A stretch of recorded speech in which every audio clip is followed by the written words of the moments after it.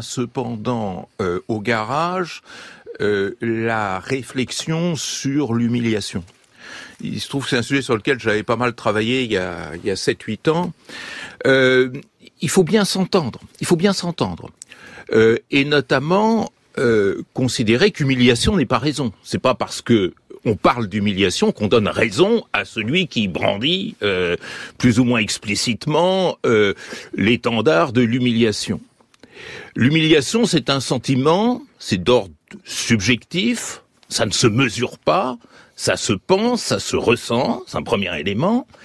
Et deuxième élément qui est essentiel, c'est de savoir que l'humiliation, c'est pas un cri de douleur. L'humiliation, c'est aussi le point de départ d'une stratégie de vengeance. C'est-à-dire que c'est de l'ordre de la manipulation. Euh, les drames dans l'histoire ne relève pas tant de l'humiliation que de la manipulation de l'humiliation par celui qui a été humilié. Quand John Maynard Keynes disait que la paix de Versailles va humilier l'Allemagne et c'est extrêmement dangereux pour la suite des événements, il ne donnait pas par avance raison à ce monstre qui euh, a pris le pouvoir en 1933. Mais c'est vrai qu'il décrivait une situation qui alimentait une stratégie qui a été manipulée de manière absolument atroce euh, par Hitler. Euh, il y, a un, y a un petit parallèle quelque part. Alors, quelle est la base de cette humiliation? Parce que c'est ça qui est important. Si on veut tenter d'avancer dans ce dossier et éventuellement découvrir des sentiers de solutions, il faut essayer de trouver la racine, comme dirait mon dentiste.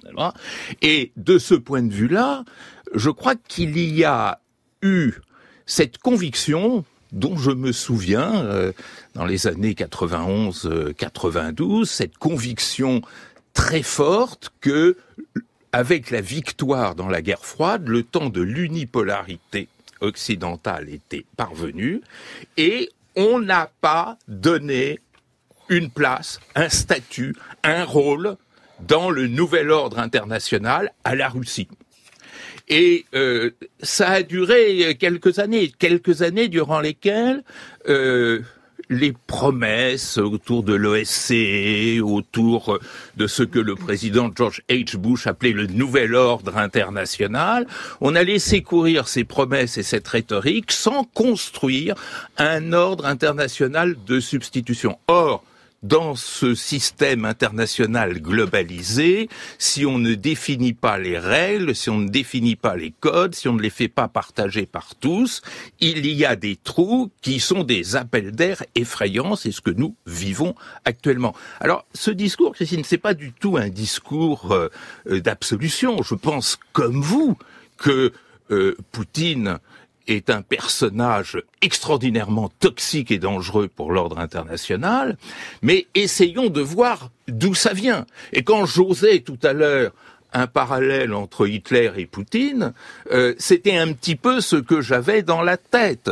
Hein. L'explication, contrairement à ce qu'il a dit une fois, c'est une des phrases les plus absurdes que j'ai entendues, Monsieur Manuel Valls, l'explication n'est pas l'excuse. Euh, quand on explique comment un cancer se développe, quand un médecin explique comment un cancer se développe, il ne va pas légitimer le cancer. Ça n'a strictement rien à voir. Au contraire, il faut maintenant, de manière hâtive, savoir comment soigner, parce que nous vivons une contradiction absolument extraordinaire.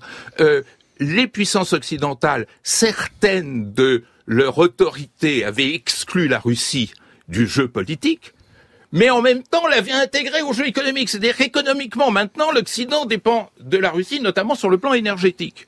C'est une contradiction extraordinairement grave dont on n'a pas eu véritablement conscience. Et maintenant, quand on avance nos sanctions, on est en partie, en partie seulement, mais quand même une partie qui n'est pas négligeable, piégé par cette espèce de contradiction.